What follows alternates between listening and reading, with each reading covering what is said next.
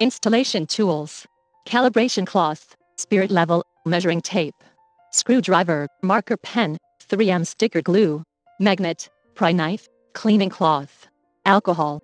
Parallelly place the measuring tape along with the wheels. Calibration cloth should be vertically with measuring tape 90 angle. Parallel with rear box. Calibration cloth should be paralleled with car rear box. Put half of calibration cloth under the rear box.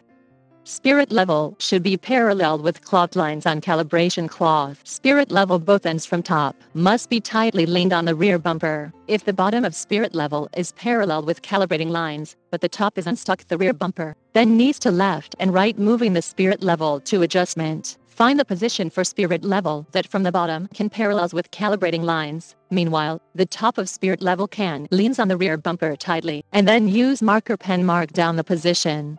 Mark down with a method for the other side of bumper.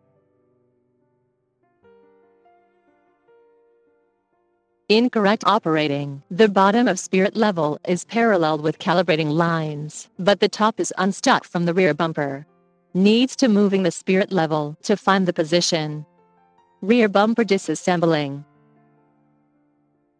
Remove the rear bumper screws. Remove the stop light and then take out the lamp and related wires. Use the same operating method for the other side. And then remove the rear bumper, gently put it down the floor. Bring a cleaning cloth, pour the alcohol on it, used it cleaning the calibrating position in the inner rear bumper. Two pieces of magnet.